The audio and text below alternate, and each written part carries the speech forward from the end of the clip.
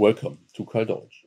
In this video we would like to show you how to calibrate the LEPTOSKOP in order to achieve the highest measurement accuracy. With the manual zero, foil or multi-point calibration, the influence of the base material and geometry can be reduced considerably. You should always carry out the calibration if the measurement accuracy on a reference part is insufficient. Begin by switching the gauge on and connecting the probe. In the menu, select Calibration and then Zero Calibration. Now carry out a series of measurements on the uncoated reference part. Here we use the FE reference block. The more readings you record, the smaller is the influence of the surface roughness.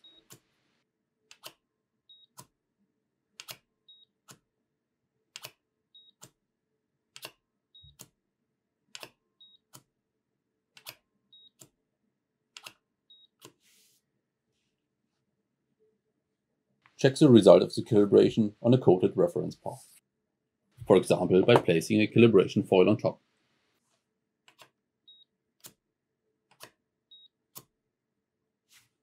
If the result is satisfactory, the gauge is set up for a measurement.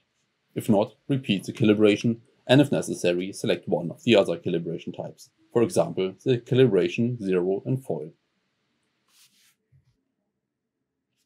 Again, we perform a zero calibration by first taking a number of readings on the uncoated reference part. Confirm with OK. Then place a calibration foil on the reference part or switch to a point on the reference part where the exact layer thickness is known. Record a number of readings and confirm with OK.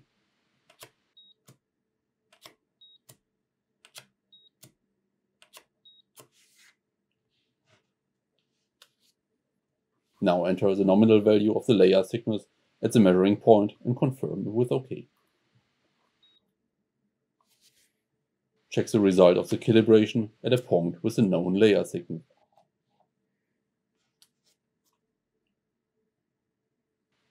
If the calibration types presented so far do not provide a sufficient accuracy over the entire layer thickness range, carry out a multi-point calibration. The first calibration point can either be recorded at a point with or without a coating. We start with the calibration on the uncoated reference block. Record multiple readings and confirm with OK. Enter either 0 or the known layer thickness at this point. For the second calibration point, change the layer thickness by either using a calibration foil or by choosing a suitable measuring point. Record the readings. Confirm with OK, and enter the known layer thickness. Proceed in the same way for the third calibration point and any following.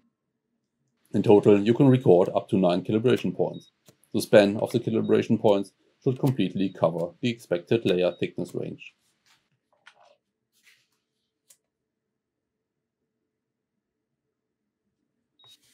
Therefore, we record another calibration point with a foil whose thickness is slightly above the largest layer thickness to be measured.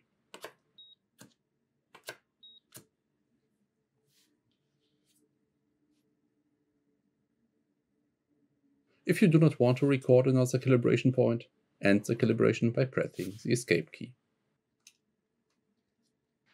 Check the calibration on the reference part. If the result is satisfactory, you're ready to perform the measurement. We hope this video helped you with the calibration of the LEPTOSKOP. See you next time!